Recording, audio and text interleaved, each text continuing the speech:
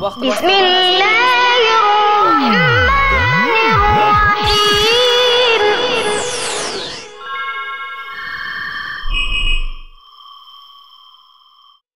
ол сондай алла сендерді қараңғылықтардан жарыққа шығару үшін құлына мұхаммедке оған алланың игілігі сәлем болсын ап ашық аяттар түсірді сөзсіз алла сендерге тым жұмсақ ерекше мейірімді.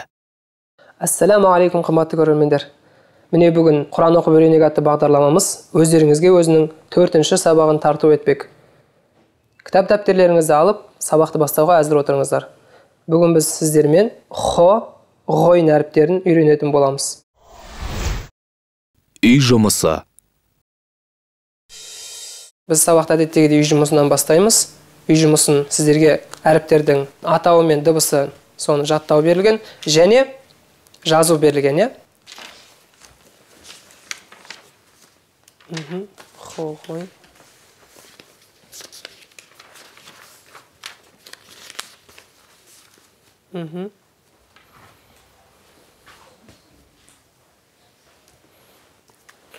Дұрыс. Біз алдыңғы сабақты өткен әріпте жібермейтін қателік х әріпін жазған кезде х әріпін жазған кезде мынау біздің сызық болса сызықтан жоғары жағына осылай жазамыз. Ал былай жазу бұл қате болады. Осыны ескеріңіздер. Айн әрпі де сол сияқты. Айн әрпі осылай жазылады. Ал егер де мынаны былай жазсаңыздар немесе былай жазып қойсаңыздар қате болады. Мыналар қате болады. Сондықтан міне дұрыс нұсқасына қараймыз. Осы қателікті жібермейміз иә. Үй жұмысы ретінде сұрақ қоямын. Сұраққа жауап беріңіздер. Бірінші бізде қарапайым аққудың атауы мен дыбысы кім айтады? Азат. Қарапайым аққудың атауы хә ал беретін дыбысы х машалла. Екінші үлкен е әрпінің атауы мен дыбысы кім айтады? Рүстем. Үлкен е әрпінің атауы айн беретін дыбысы х мхм беретін дыбысы а иә? А мхм тамаша отырамыз. Өткенді қайталау.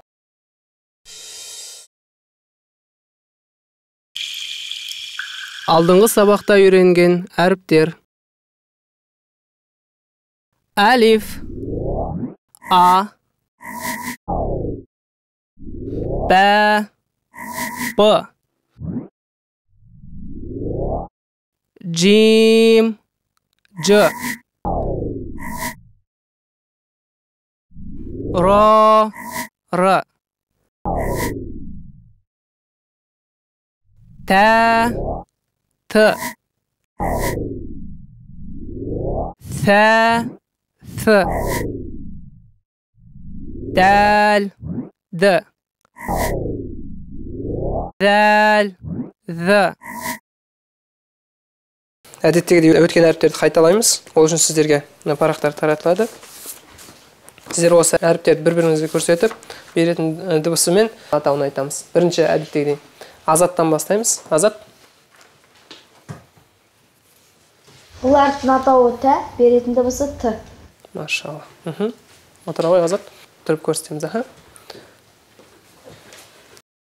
Мхм. Бұл әріптің атауы айн беретін дыбысы о аха беретін саға отырамыз жақсы енді рүстем Бұл әріптің атауы джим беретін дыбысы ж. Машалла азат бұл әріптің атауы хә беретін дыбысы машалла отырамыз жақсы жаңа сабақ. Өткен сабақта біз ха және айн әріптерін өткенбіз енді бұл жолы ха және айн әріптерін өте ұқсас. Тек қана нүктелер ғана ажырататын екі әріпті өтеміз. Бірінші біз бірінші өтетін әріпіміз. Хо әріпі. Хо әріпі бұл хо бұның атауы. Ал беретін дыбысы х. Бұл х әріпін дәл қазақ тіліндегі х әріпін береді. Хат дегендегі х. Бас ерекшелігі хо деп аталады жуан әріп хо деп. Ал негізгі бұл әріптің шығуына маңызды нәрсе ғырыл. Хо ғырылмен шығады. Екінші әріп бізде ол айн деген әріптің сыңары. Бұл ғойн. Бұл әріптің атауы ғойн. Ғойн беретін дыбысы ғ. Дәл қазақ тіліндегі ғ. Ғ деп аталады иә көрдіңіздер ма хо ғойн бұл дәл осы әріптің сыңары алдыңғы сабақта өткен һә болады ал мынау бізде айн болатын басты ерекшелігі мынада ғырыл жоқ айнды айтқан кезде ғырылмен айтпаймыз һәні айтқан кезде де ғырыл жоқ болады ал хон айтқан кезде ғырылмен ғойнды айтқан кезде ғырылмен айтамыз сондықтан екі ұқсас әріпті ажырататын басты нәрсе ғырыл біреуінде ғырыл айтылады мынада жоқ. Мынада ғырыл айтады мынада жоқ. Ерекшелігін түсіндік пе? Хо және ғойн әріптерінің қалай аталатынын тыңдап алайық. Азат? Хо хо хо. Ғойн ғойн ғойн жазу. Хо ғойн әріптерінің жекеше түрде қалай жазылатындығын үйренеміз. Мынау бізде дәптердегі жол болса хо әріпі дәл біздегі хә әріпі сияқты бірінші аққудың басы одан кейін мойны кейін кеуде тұсы. Кейіннен оның нүктесі жазылады иә. Ал ғойн әрпі де айн әрпіне ұқсап бірінші жоғары жақ одан кейін астыңғы одан кейін нүктесі қойылады төбесіне. Ал балалар айтыңыздаршы біз неге ұқсатамыз бұл екі әріпті? Айдын? Тәж киген бақаға мынау тәж киген? Ой тәж киген аққуға. Тәж киген аққуға. Екінші? Екінші тәж киген иә? қарасаңыз дәл ұқсас тек қана екеуін нүкте ғана ажыратады иә? Ғойн мен айнды екі нүкте ғана ажыратады. Нақты көрдік қой иә? Қалай жазылатынын. Бірінші бірінші аққудың басы одан кейін барып мойны кейін кеуде тұсы ал кейін ол аққу тәжі жазылады. Қараңыз тура тәж киген аққуға ұқсайды. Иә мінекей мынау айн. Бірінші басы жазылады кейін барып кеуде тұсы ал кейін біз оның тәжін жазамыз. Міне тәжін көрдіңіздер ма һә деген қарапайым болса мынау тәж киіп алған көрдіңіз ба айырмашылық сода иә? Енді біз осы өздеріңізбен өткен хо және ғойн әріптерін бекіту үшін жаттығуларды бастаймыз жаттығу осы әріптердің нақты қалай шығатынын біліп алу үшін рүстем айта қойшы хо хо хо ғойн ғойн ғойн машалла отыра ғой өздеріңіз тыңдап көрдіңіздер. Басты нәрсе бұл әріптерді айтқанда бұл ғырылдың шығуы.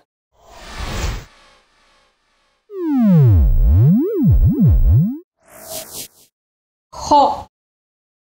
Хо. Хо. Ғойн ғойн ғойн енді біз сіздермен тапқышбек ойынын ойнаймыз. Ол әдеттегідей мен сіздерге әріптерді олардың дыбыстарын шатастырып жазамын тақтаға. Бір біріне дұрыс табыстырасыздар. Әріптің атауы мен дыбысын жақсы ма? Ондай болса қазір ойланып мұқият қарап отырыңыздар.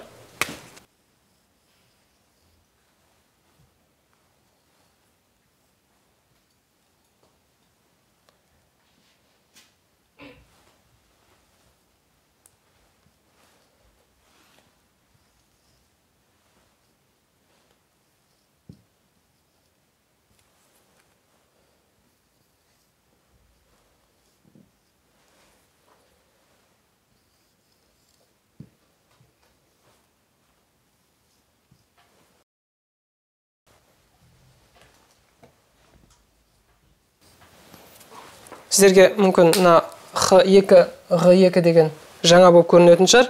Естеріңізде болса бірінші айн әріпін біз айн екі дейміз. Ал ғойн әріпін ғ ретінде қалады. Ал біздегі х әріпін х екі дейміз да ал хо хо әрпінде қалады иә? Осыны шатастырмаймыз себебі бізде әріптің реті бойынша бірінші хо одан кейін ха айтылады. Бірінші әріп ғойн әрпінің дыбысын кім табады? Ернұр әрпі х дыбысын бермейді.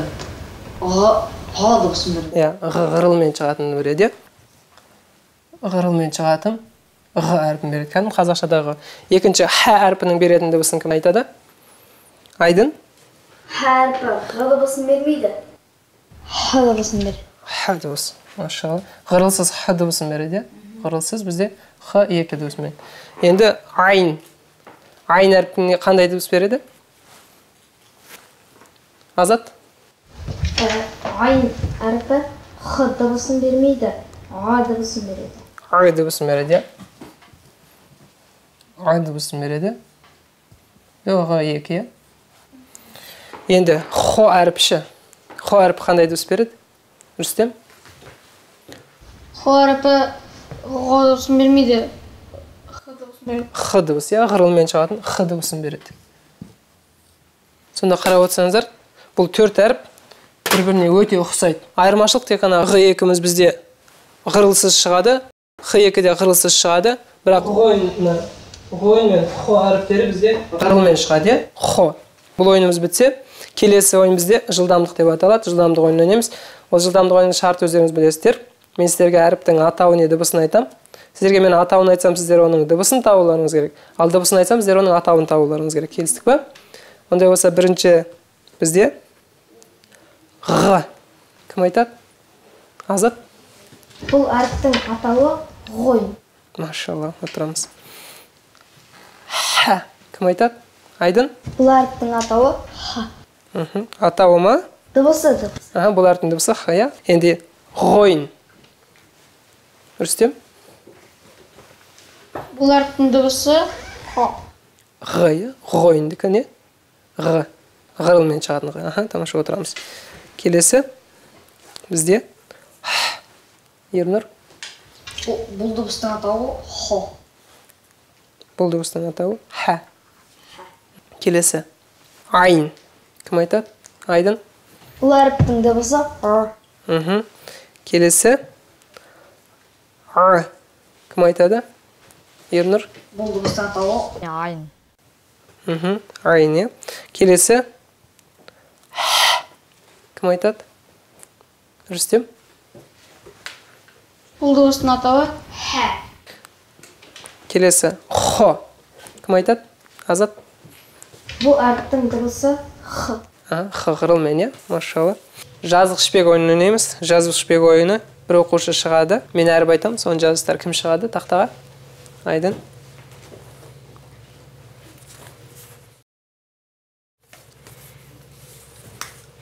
бірінші әріп тәж киген аққу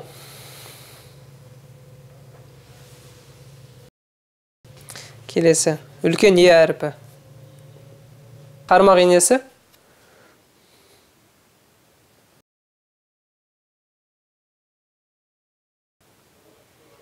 тәж киген үлкен е әріпі? Мхм тәж киген тәжі бар. Енді сол жақ сынған мүйіз.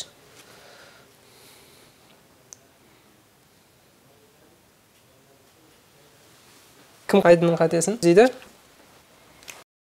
Ернұр.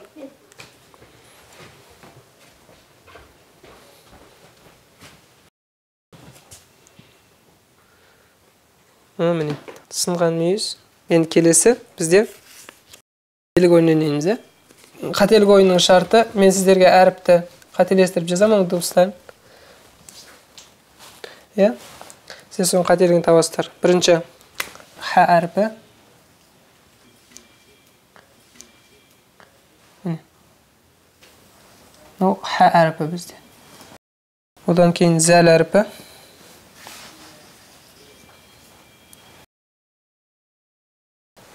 Одан кейін хо әрпі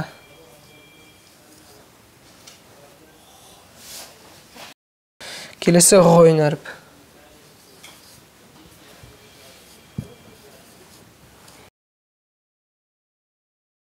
қатені кім табады ернұр бірінші тұрған х әрпінің үстінде нүктесі болмайды машалла нүктесі болмайды енді келесі келесі т- тұрған зәл әрпінің нүктесі болады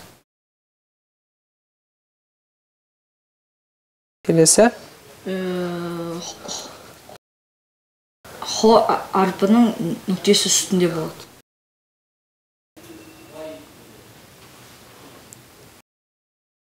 соңғы тұрған ғойн әрпінің үстінде нүктесі болады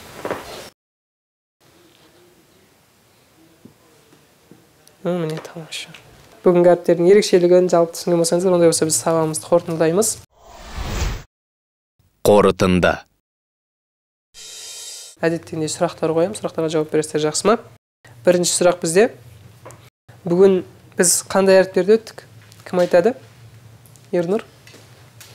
Бүгінгі сабақта біз хо және ойн әріптерін өттік машалла отыра ғой келесі сұрақ бізде қандай аққулар бар кім сипаттап береді айдын Джим, ха, хо.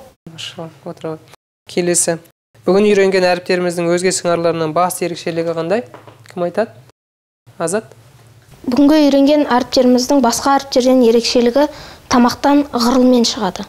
машалла тамаша отыра ғой ондай болса бүгінгі әріптерді қорытындылаған болсақ яғни бүгінгі өткен әріптеріміз тамақтан ғырыл арқылы шығады. Ғырылсыз шықса ол қате болады иә? Сондай ақ біз бүгін өткен хо және ғойн әріптерінің сыңарлары айн және ха иә? Біз ха әріпін х екі дедік та айн әріпін ғ екі дедік иә? Себебі олардың беретін дыбыстары ерекше. Үйге тапсырма. Сіздерге жазып алыңыздар үйге тапсырма. Келесі сабаққа сіздер хо және ғойн әріптерінің дұрыс айтылуын және дыбысы мен атауының айырмашылығын соны ескеріп жаттап келесіздер. Хо және ғойн әрпі дұрыстап шығаруды. Тапсырмасының екіншісі осы хо ғойн әріптерінің әрқайсысын бір жолға толықтырып жазып келеміз. Алла елшісінің оған алланың игілігімен сәлемі болсын хадисі. Расында ішінде құраннан бір сүреде болмаған яғни құран оқып жаттамаған адам қираған үй тәрізді. Құран құры әуен емес құран өмірдің негізі деп білетін құрметті көрермендер аллах бәрімізге пайдалы ілім берсін деген ізгі тілекпен бүгінгі сабағымызды аяқтаймыз. Келесі сабақта өздеріңізбен жүздескенше аллахтың амандығында болыңыздар ағайын. Ассаламу алейкум уа рахматуллахи уа баракату аллах елшісі ол кісіге алланың игілігі мен сәлемі болсын.